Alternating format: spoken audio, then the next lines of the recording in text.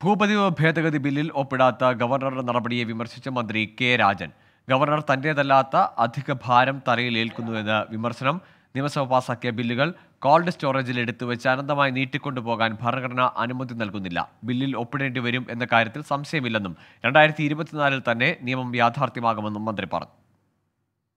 അറുപത്തിമൂന്ന് വർഷക്കാലമായി കേരളത്തിലുണ്ടായിരുന്ന കേരളത്തിന്റെ ഭൂപതിവ് നിയമം അതിന്റെ അലകും പിടിയും മാറ്റുന്ന വിധത്തിൽ നേരത്തെ ഉണ്ടായിരുന്ന കോൺട്രവെൻഷൻസ് റെഗുലറൈസ് ചെയ്യാനും പുതിയ നിലവിലുള്ള പട്ടയ ഭൂമിയിലെ പുതിയ നിർമ്മാണ പ്രവർത്തനങ്ങൾക്ക് സർക്കാർ നിർണയിക്കും പ്രകാരം അവസരം കൊടുക്കാനും അധികാരം കൊടുക്കുന്ന വളരെ പ്രധാനപ്പെട്ട രണ്ട് ചട്ടങ്ങൾ ഉണ്ടാക്കി ഉൾപ്പെടെയുള്ള നാല് ഭേദഗതികൾക്ക് കേരളത്തിന്റെ നിയമസഭ ഏകകണ്ഠമായി തീരുമാനമെടുത്ത ഒരു കാലം ഇതാണ്.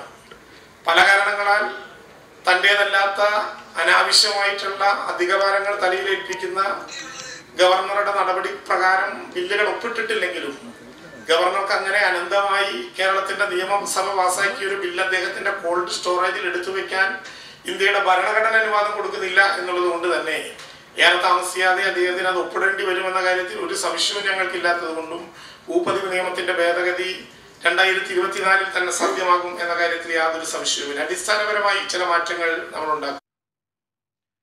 എസ് ജയശങ്കർ ചേരുന്നുണ്ട് തിരുവനന്തപുരത്ത് നിന്ന് വിശദാംശങ്ങളുമായി.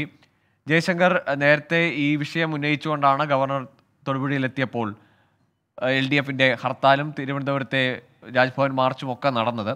എന്താണ് ഈ ഇപ്പോൾ മന്ത്രിയുടെ പ്രതികരണത്തിൽ സൂചിപ്പിക്കുന്നത്? അതിന്റെ പശ്ചാത്തലം എന്താണ്? അതായത് ഗവർണർ ഭൂപതിവ് ഭേദഗതി ബില്ലിൽ ഒപ്പിടാത്തതിനെയാണ് മന്ത്രി കെ രാജൻ രൂക്ഷമായി വിമർശിച്ചത്. മന്ത്രി പി രാജീവ് ഉൾപ്പെടെയുള്ള പങ്കെടുത്ത ഒരു പരിപാടിയിലെ പ്രസംഗത്തിനിടെയായിരുന്നു മന്ത്രിയുടെ വിമർശനം. അധികകാലം ഗവർണർക്ക് ഈ ബില്ല് തന്റെ കോൾഡ് സ്റ്റോറേജിൽ സൂക്ഷിക്കാനാകില്ല. ഭരണഘടന അതിന് അനുമതി നൽകില്ല. ഈ ബില്ലിൽ ഗവർണർക്ക് ഒപ്പിടേണ്ടി വരുമെന്ന കാര്യത്തിൽ സംശയമില്ല. രണ്ടായിരത്തി ഇരുപത്തിനാലിൽ തന്നെ ഈ ബില്ല് നിയമമാകുമെന്നും മന്ത്രി പറഞ്ഞു. ഗവർണർ തന്റേതല്ലാത്ത അധികാരബാലം തലയിൽ വെച്ചാണ് നടക്കുന്നതെന്ന വലിയൊരു വിമർശനവും മന്ത്രി ഉന്നയിച്ചിട്ടുണ്ട്. നിയമസഭാ സമ്മേളനം അടുക്കുകയാണ്. ഈ ഒരു ഘട്ടത്തിൽ ഈ ബില്ലിൽ ഒപ്പിടാത്തതിനെതിരെ റവന്യൂ മന്ത്രി തന്നെ ഗവർണർക്കെതിരെ വലിയൊരു വിമർശനം ഉന്നയിക്കുന്നു.